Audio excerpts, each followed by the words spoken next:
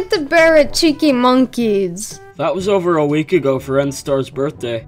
We're here to get you a gosh darn diddly grill. I already have one.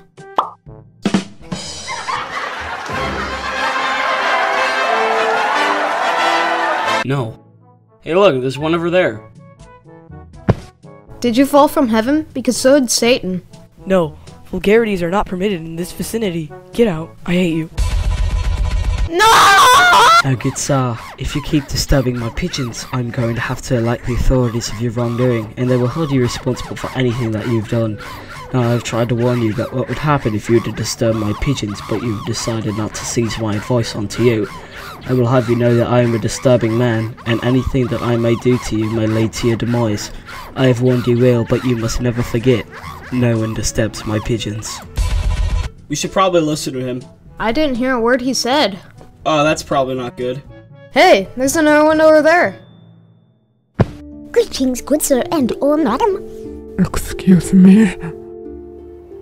Self-destruct in 20 seconds. Oh, jeez! We gotta get out of here! Ah!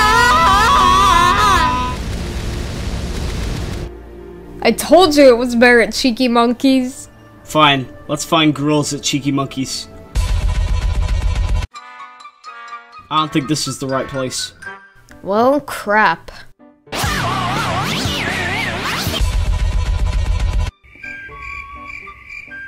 There's no one here.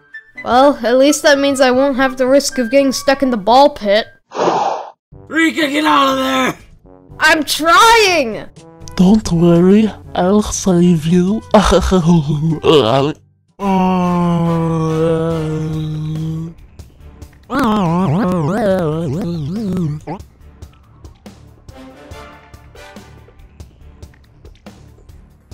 saved the day. Yeah. All you did was lead him to a ladder. Anyone could have done that. You're making things overly dramatic. Yeah, it's probably a good thing. There's no risk of that happening again. Well, I guess we've learned our lesson. Having Online dating isn't is dangerous and you've got a shouldn't be done by card. anyone.